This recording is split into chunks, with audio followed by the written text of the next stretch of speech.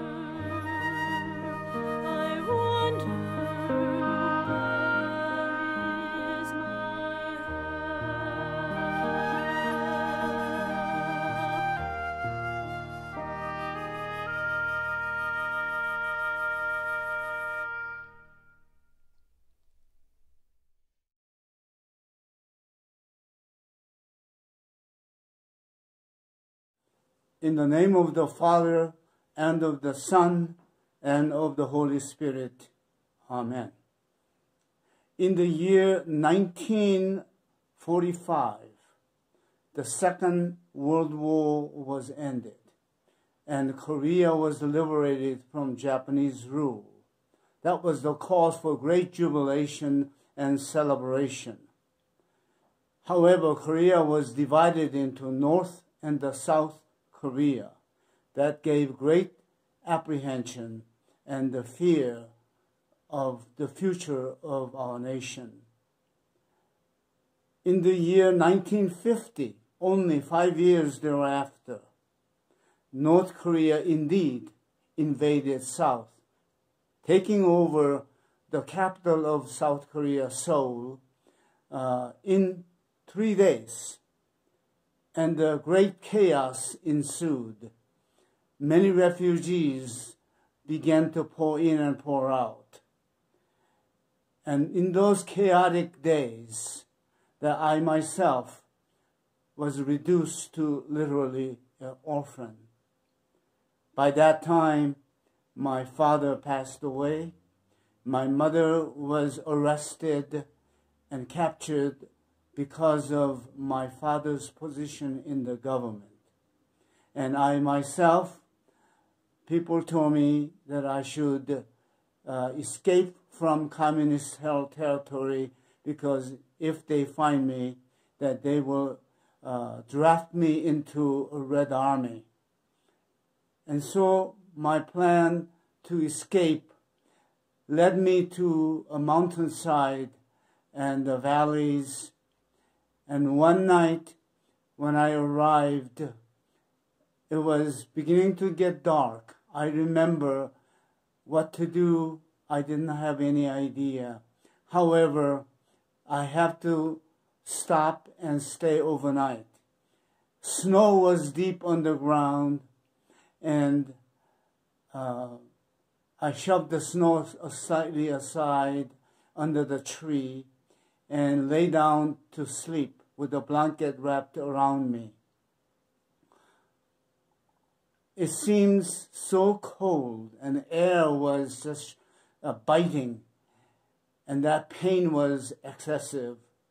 But the worse than the cold air and the snow was the sense of loneliness, a feeling forsaken by the world.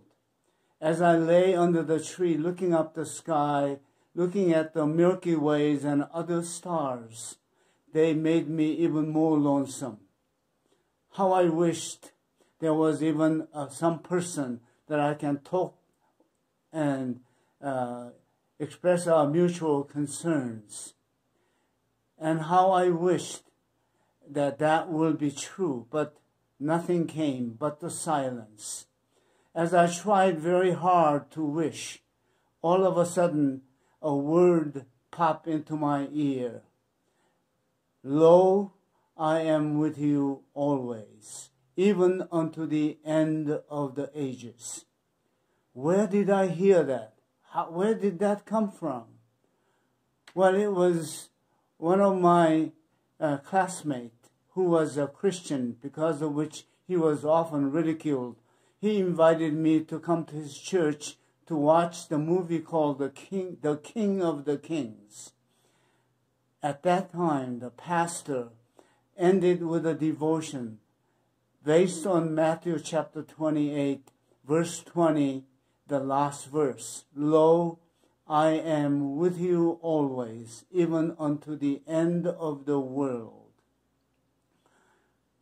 If he is the is available to us and is on our could be our side even at the end of the age and end of the world then certainly he could be here too. And with that wishful thinking, I tried to convince myself that I'm not alone.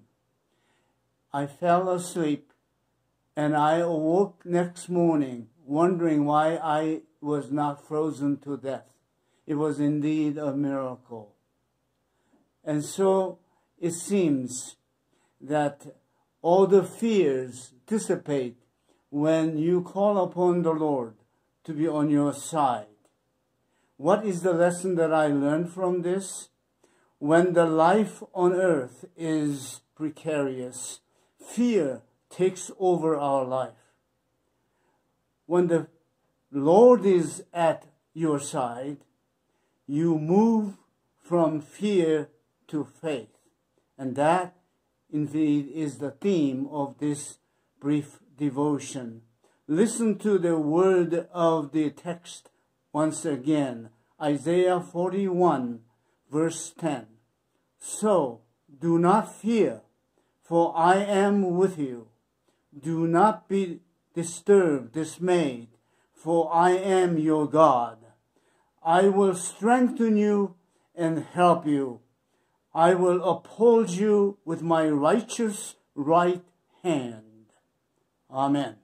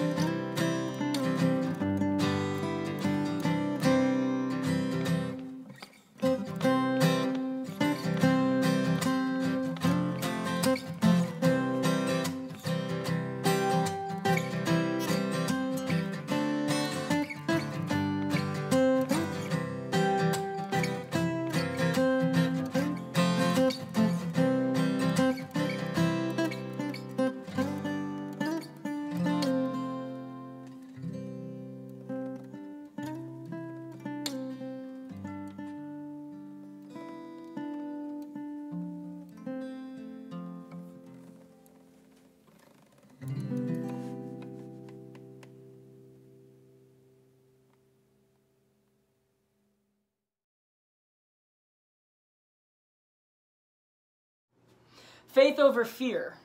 What do you think of? When you hear faith over fear, if you're like me, I go to the Bible story of David. David and Goliath, when he has a slingshot and he slings it and hits Goliath, knocks him down, reigns victorious. That's faith over fear. What do you think of? Faith over fear. When you hear that word fear, where does your mind go? What do you think?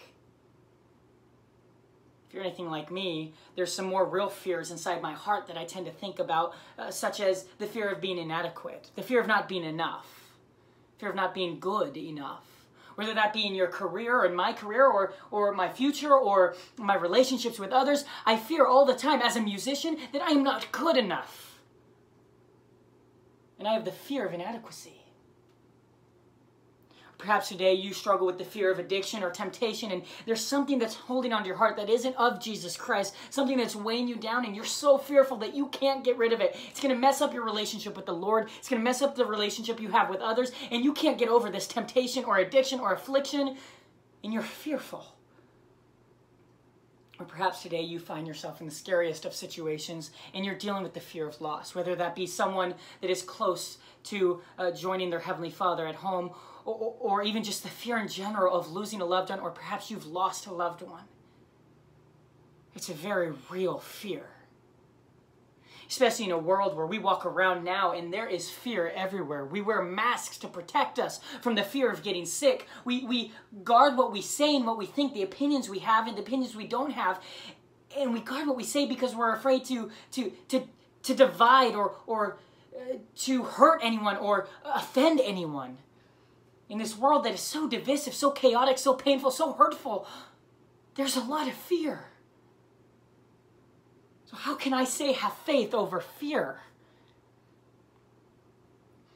Well, I think faith over fear is an easy answer when things are far away. When things are far from us, it's easy to say, have faith, that God's got it. But as soon as things get personal, as soon as things get real, the question changes to, to does God have it? And, and the question is now is, does he have it? Does God have things under control? Am I safe? Am I able to say that I have faith over fear? When things get real, faith gets confusing. I'm reminded of the story of Shadrach, Meshach, and Abednego, three faithful Jewish uh, men who, who, under the command to bow down to King Nebuchadnezzar, said no. And because of that, they were about to be placed in the fiery furnace. King Nebuchadnezzar calls them in and says, I'm going to turn up the furnace, and, and you still don't want to bow down to me. Do you feel how hot it is? I mean, look, the, the hair on your arms are burning off. And they look back at him and they say, I have faith that my God will save us. But what they say next in verse 18 of chapter 3 of Daniel is, I think, the most important thing to notice when it comes to faith. For they look at King Nebuchadnezzar and they say, But even if he doesn't save us, I will still not bow down to your idols. You see, so often we have our faith, our own faith, as a measuring stick of where we're at with Christ, or a measuring stick of where we're at in life. And I think we miss it we miss the fact that having faith is giving total control of our reason, of our logic, of our understanding, and giving it to God, saying, whether things are good or bad, whether I have health, whether I have life, whether I have death, it doesn't matter because God, I trust you and I have faith over fear. It's a lot easier said than done. See, I think as Christians, sometimes our biggest fear is really saying that we don't have it together that we are scared, that we're in need of Jesus. Well, later on in the story, uh, they get thrown into the furnace and they don't burn. God saves them but God also puts himself as a pre-incarnate Christ, and Christ enters into that furnace with them, and, and, he is seen by King Nebuchadnezzar and the other jailers, and, and, and, and Jesus is seen in the midst of the fire. And, and the great news that I have to deliver to you today is that when we have fears, when we have doubts, we have a God that when we put our faith in him, isn't afraid to get down and dirty in the mess of things, in the mess of our life, in the fiery furnace of our life, in the fiery furnace of the fears that we have in this life, We have a God willing to step in and say, You don't have to have it together. Because when you are thrown into the fiery furnace, when things are all but lost, I stand here in the work, in the presence of what I've done for you, and you are redeemed. You are marked as saved. You are one who is right with God because of it. So, whatever is thrown at you at this life, have faith that you are protected, that you are loved, that you are redeemed. To close, Jesus tells uh, another story in Matthew 18, and, and uh, he's asked, you know, people ask him, How do we get into the kingdom of heaven? And he looks around and he finds children, and he says, Unless you have faith like this, faith like a child, you will never enter the kingdom of heaven. Why does he say this? You see, Jesus understands that to have faith is to be in complete need, complete uh, giving up control of. And so Jesus tells us to have faith like a child, to not think about it, because your Father's got it under control. So whether you feel inadequate, whether you feel uh, the fear of uh, addiction and temptation, whether you are fearful of losing your life or the lives of others, I can say to you confidently, have faith. Because regardless of what you and I go through or do or work for or know in this life, we have a God who's not afraid to get in the mess and step in your place and say, I've got it. So, friends, it's my joy to you to say, have faith over fear.